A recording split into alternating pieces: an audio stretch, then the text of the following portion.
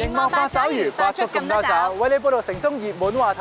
今个星期会同大家直击禁曲忘不了歌唱大赛总决赛嘅情况。